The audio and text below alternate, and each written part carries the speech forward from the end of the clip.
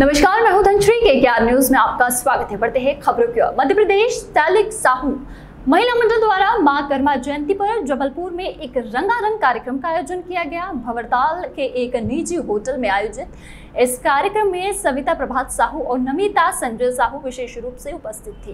कार्यक्रम में साहू समाज की महिलाएँ विशेष वेशभूषा में नज़र आई और महिलाओं ने अपना श्रृंगार राधा कृष्ण और मीरा के रूप में कर रखा था। जिन्हें कार्यक्रम में विशेष रूप से सम्मानित किया गया। साहू समाज की महिलाओं ने माँ कर्मा देवी की जयंती पर नौ देवियों के रूप में नृत्य नाटिका के द्वारा नारी शक्ति को प्रदर्शित किया। समाज में परिवार के बड़े बुज़ुर्गों का सम्मान किस प्रकार किया जाए ताकि उनके सम्मान को किसी भी प्रकार का आघात ना हो? इसके लिए नृत्य नाटिका के माध्यम से समाज के लोगों को जागरूक किया गया। देशभक्ति को दर्शाते हुए अनेकता में एकता का परिचय नृत्य माध्यम से किया गया। कार्यक्रम में समाज की महिलाओं के अलावा समाज के प्रतिष्ठित नागरिक भी मौजूद थे।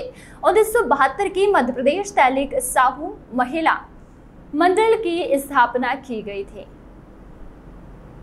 उस, उस समय महिला मंडल में 11 सदस्य थे। आज इस महिला मंडल ने विशाल वटवृक्ष का आकार ले लिया है। जबलपुर से बातचीत खान की रिपोर्ट। ऐसे ही खबरों में बने रहने के लिए हमारे चैनल को लाइक शेयर और सब्सक्राइब करना ना भूलें।